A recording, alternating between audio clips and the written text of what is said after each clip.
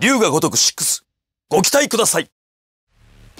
すかした顔して舐め腐ってから踊りや今度こそ白黒つけちゃうけの。わしら死にに来とるんじゃ。踊れらかかってくんならの。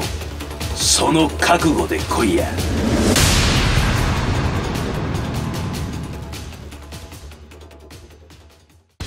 皆さんこんにちは龍が如く6に陽明連合会広瀬一家若頭南雲剛役で出演させていただく宮迫です。まずあの広島弁がね非常に難しくてちょっと関西弁に似てるけど微妙に違うのが丸々違ったらやりやすいんですけどね。似てるのがすっごい逆にやりにくかったんですよどうもつい大阪弁になってしまうんでまずあのたけし軍団でもないのにたけしさんの古文をやるっていうねあの若頭をやるというねなんか非常に